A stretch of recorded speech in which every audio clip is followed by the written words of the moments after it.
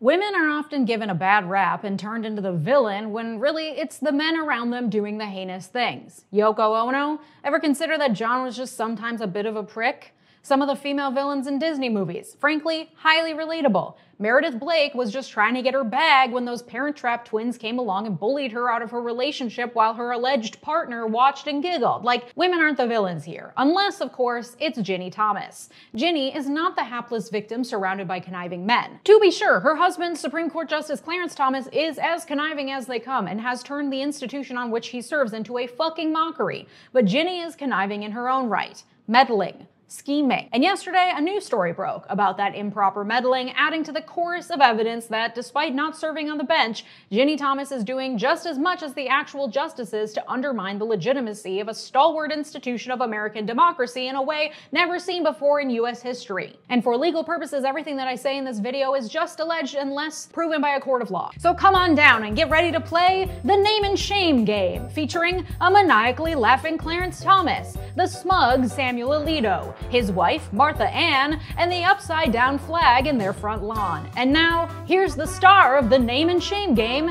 Ginni Thomas. A longtime Republican from Middle America, Virginia Thomas grew up in beautiful Omaha, Nebraska, the youngest of four children to an engineer father and a stay at home mother with a side gig as a conservative activist, both of whom were Republicans, members of the unhinged John Birch Society, and loved good down home family values. A power hungry hanger on from a young age, Ginni aspired to be elected to Congress while she was still in high school, serving on student government, debate club, and the Republican Club. What a nerd! She cut her teeth in politics while a student at Mount Vernon College for Women, working at the national headquarters of Ronald fucking Reagan's 1976 presidential campaign.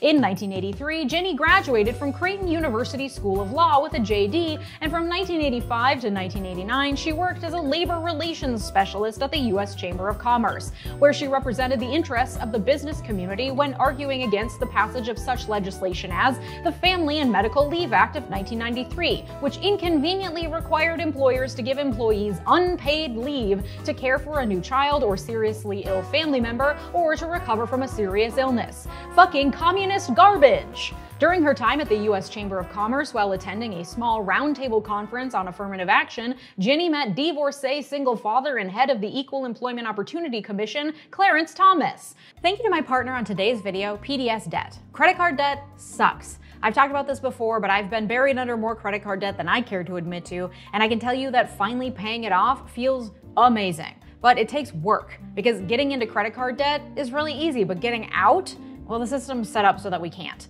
If you're struggling with credit cards, personal loans, collections, or medical bills, you need to check out PDS Debt. PDS provides a service to match you with debt solutions tailored to your financial situation, and they have a team of people ready to help you with your debt journey. PDS Debt is offering a free debt analysis, and it only takes 30 seconds. Head over to pdsdebt.com/miller to get your free debt assessment today. You'll receive a full breakdown on how to save on interest each month and the quickest way to take care of your debt. Everyone with over $10,000 in eligible debt qualifies, and there is no minimum credit score required. If if you're making payments every month on your debt, but your balances just won't seem to go down, this program is for you.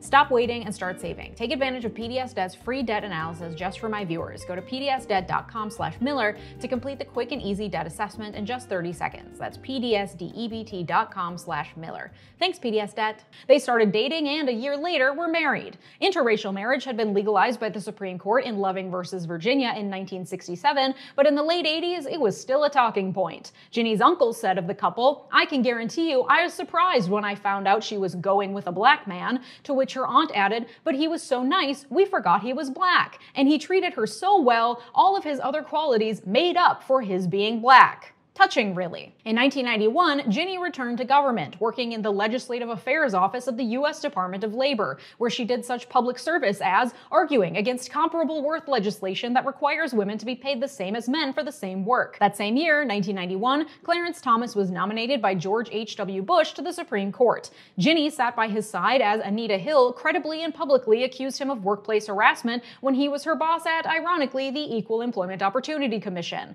To Ginni Thomas, the accusation accusations were evidence of a vast left wing conspiracy. To friends of Clarence Thomas while he was at Yale Law and working at the EEOC, when they heard Anita Hill testify that Thomas once picked up a can of soda and asked her, Who has put pubic hair on my Coke? that was just old Clarence being Clarence. A 1994 book called Strange Justice quotes his colleagues and classmates, calling him one of the crudest people I have ever met profane, scatological, and graphic. To those with more limited vocabulary, scatological means poop, just so we're clear. One classmate said he used language that would have reduced other people to tears. He carried porn in his back pocket and openly described the X rated movies he went to see in downtown New Haven. A woman describes visiting his apartment when he worked at the EEOC and every wall was covered with posters of naked women. He was not, as you might guess, a horny 19 year old college student at that point, but in fact, a Yale Law School educated divorcee father in his mid 30s, with posters posters of naked women covering his walls. So when people who knew him well heard that he made a public joke at work about pubes in his Coke, they were like, good old Clarence, at it again. But Ginni stood by his side through it all, sitting at the dinner table listening and engaged while Senator Joseph Biden was on speakerphone discussing the upcoming confirmation hearings, rolling her eyes and pretending to gag herself with a spoon, as Clarence Thomas's own autobiography admits to. In my heart, she said later of Anita Hill, I always believed she was probably someone in love with my husband and never got what she wanted. In the days leading up to the Anita Hill testimony, Clarence Thomas was a shell of himself. Ginni invited couples over to pray, put on Christian music and typed up his speech for him that he had written on a notepad. To say this woman played a central and pivotal role in his ascension to the Supreme Court would be an understatement. She propped him up. In his own autobiography, he describes the two of them as one being, an amalgam.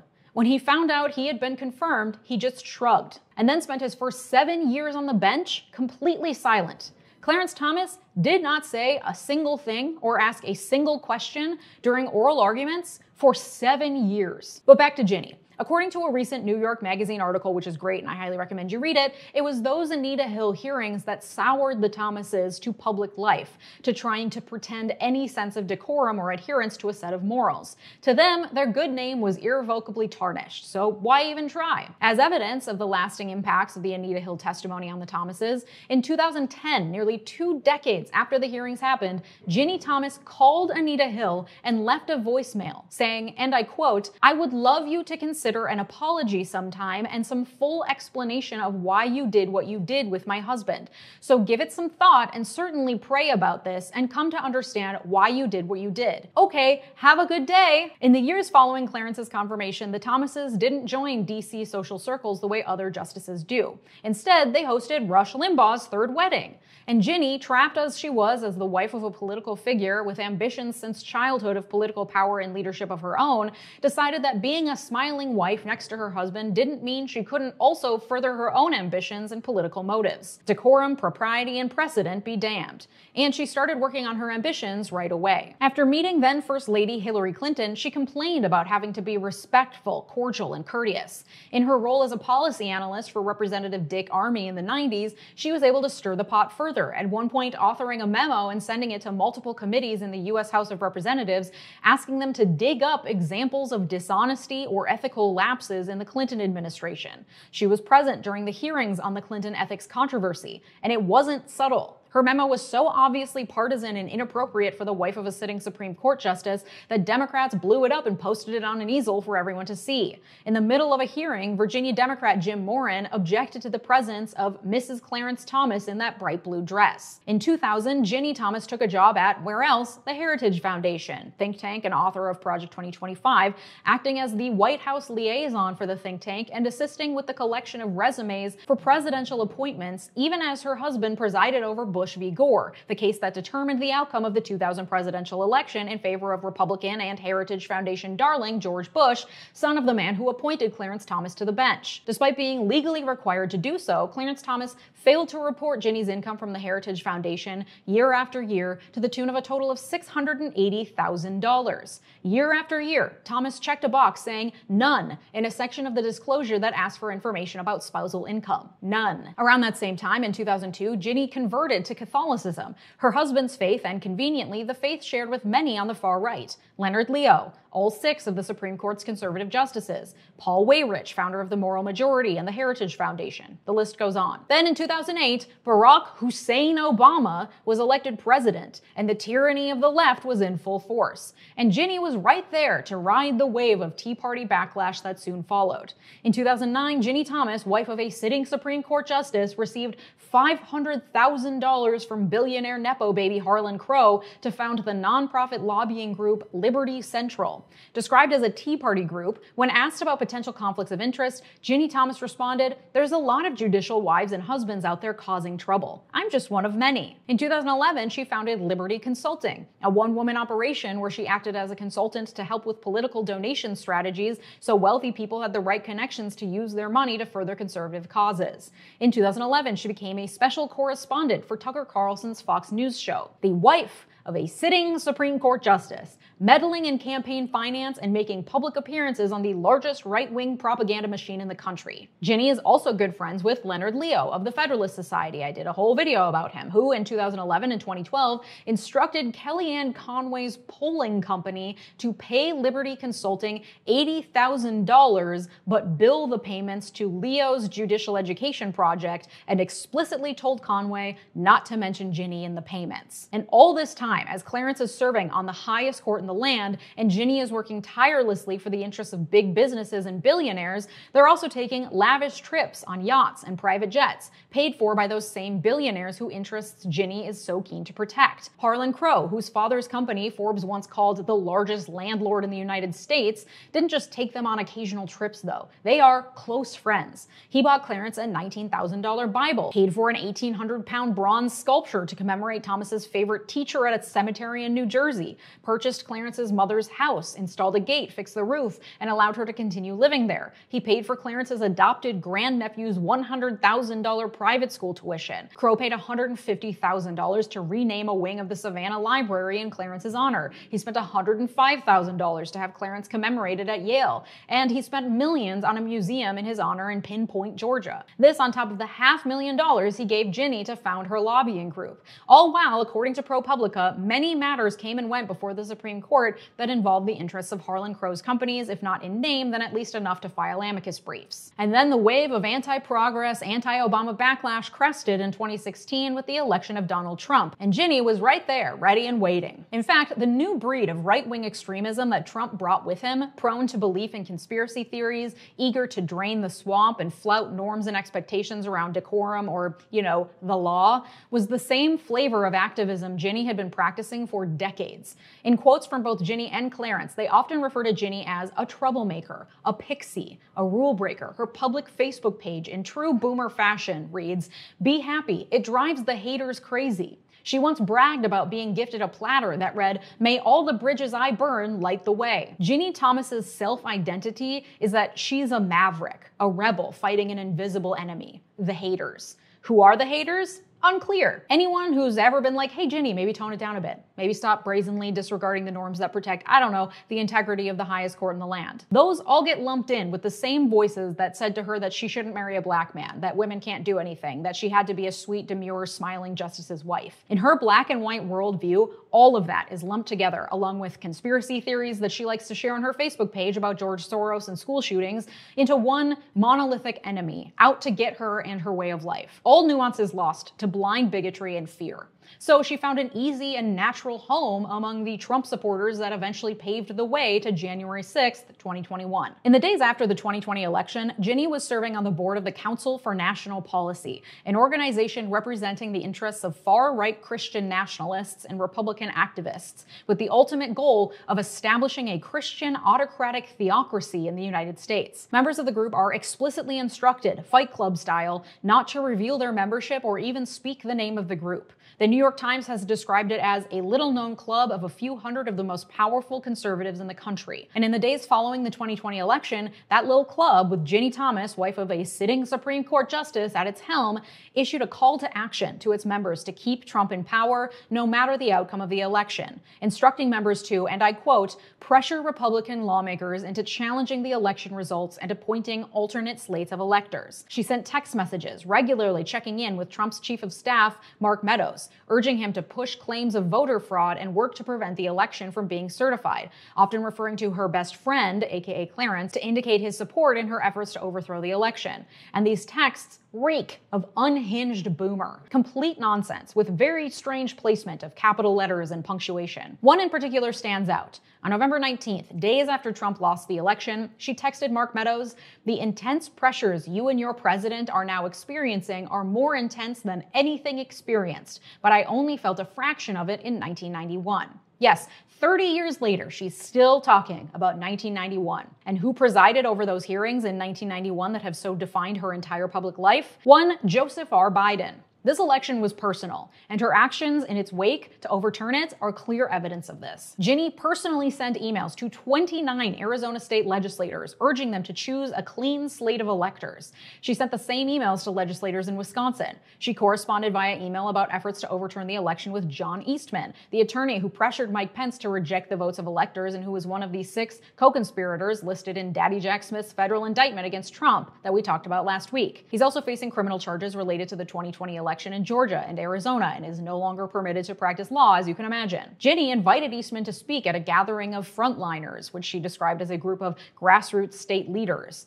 She was the administrator of a private Facebook group named Frontliners for Liberty, with a banner stating, The enemy of America is the radical fascist left. And then Ginni Thomas, wife of a sitting Supreme Court justice, personally attended the Stop the Steal rally that preceded the January 6th insurrection on the Capitol. She wasn't one of the organizers, and she claims she left before Trump even took the stage, but the wife of a sitting Supreme Court justice, who once described their relationship as one being, an amalgam, was present at the start of an insurrection and certainly pulled whatever strings she could to try to overthrow the peaceful transfer of power after a legitimate election. Later, the Supreme Court released a four page ruling denying the Trump administration's request to prevent Congress from obtaining documents related to the January 6th insurrection. Eight of the justices agreed. Only one justice dissented. It read Justice Thomas would grant the application. He would have let Trump block Congress from getting hold of those January 6 documents. Over and over, despite clear conflicts of interest and clear historic precedent for avoiding appearances of impropriety,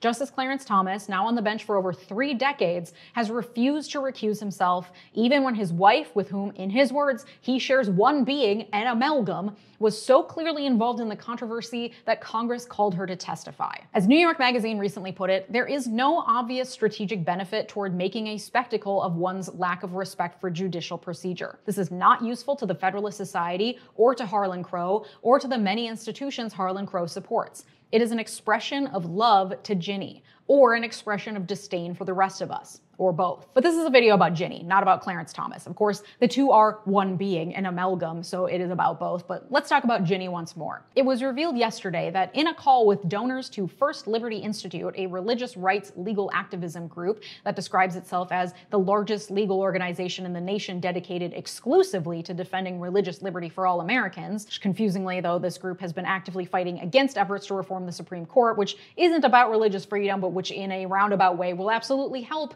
their their exclusive dedication to religious freedom because actually enforceable ethics rules on the Supreme Court would preclude the six Catholic conservative justices from a lot of cases. It was revealed in that call that Ginni Thomas personally emailed the head of First Liberty Institute, far right attorney Kelly Shackelford, saying that their opposition to court reform has benefited some judges, saying in classic boomer all caps, You guys have filled the sails of many judges. Can I just tell you, thank you so, so, so much? The First Liberty Institute has repeatedly had cases before the Supreme Court. Most recently, the religious freedom case about that football coach who forced his public school students to pray at games, and a case about a baker in Oregon who refused to bake a cake for a same sex wedding. Justice Thomas has never recused himself for anything related to Ginni's behavior. As it stands, it's up to each individual justice to determine whether or not to recuse themselves, which is a laughable level of self policing. And removal of the current justices through impeachment, especially Alito and Thomas, is pretty much impossible. Representative Alexandria Ocasio Cortez filed articles of impeachment against both Alito and Thomas. According to impeachment scholar Frank Bowman, writing for Slate, even if it were proved that Alito personally raised flags over his residences intending to convey sympathy with a political cause and then sat in cases involving that cause, there is no clear ground in either the text of the Constitution or prior precedent for impeaching a judge based on such behavior. The existing precedent involves the impeachment of Justice Samuel Chase in 1804, who made statements and rulings showing a Federalist bias for which he was impeached in the House and then acquitted in the Senate. But even though he was acquitted, that precedent has meant that the federal judiciary has scrupulously abstained from political activities and alliances in order to protect the integrity of the judiciary and also to avoid the threat of impeachment. And even though Alito doesn't seem to give two shits about the Samuel Chase precedent, his political affiliations alone don't rise to an impeachable act of treason, bribery, or other high crime or misdemeanor. AOC filed three articles of impeachment against Thomas for failing to disclose gifts and refusal to recuse himself, especially when his friends, himself, or his wife had personal or financial matters before the court. According to Frank Bowman again, the symbiotic financial relationship between the Thomases and the institutional right wing would be immediately recognizable by the founders as a form of corruption. They wrote the foreign and domestic emoluments clauses into the Constitution because they knew that crass, case by case bribery is unnecessary if one simply showers the powerful with valuable gifts. However,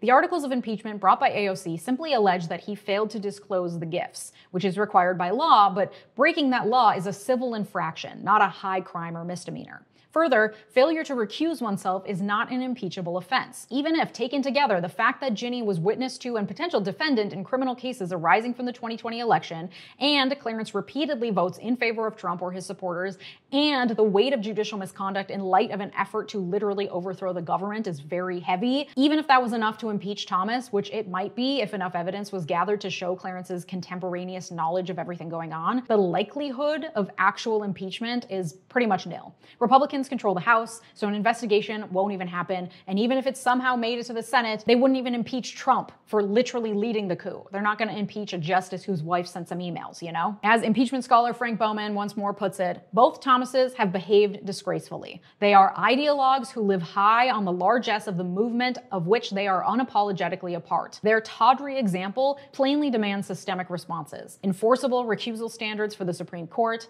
laws regulating receipt of outside income by judges, and perhaps more. But impeachment is off the table. And through all of this, Ginni has claimed that her and Clarence don't talk about the court. They don't talk about law. She claims he's in his legal lane and she's in her political lane. But the reality is that the Supreme Court is political period. There's a reason we note who are the conservative and who are the liberal justices. There's a reason that people like decaying turtle corpse Mitch McConnell were willing to pull stunts multiple times to ensure a Republican president got to appoint Supreme Court justices. There's a reason why the Federalist Society is willing to spend millions to prop up the appointment of certain justices. The Supreme Court is political.